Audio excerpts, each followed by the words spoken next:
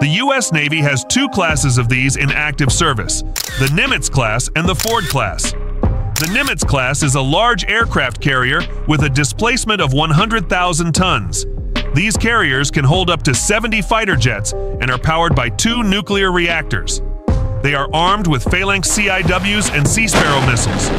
Although built in the 1970s, they have been upgraded and refitted to include more modern systems and are now state-of-the-art carriers. The Ford class is the successor to the Nimitz class. These modern 100,000-ton carriers are unlike anything seen before. Powered by two advanced A-1B nuclear reactors, this warship can carry 80 or more aircraft, which can be launched not from steam catapults but electromagnetic ones. Armed with CIWS and a variety of other surface-to-air missiles, this class is truly one of a kind.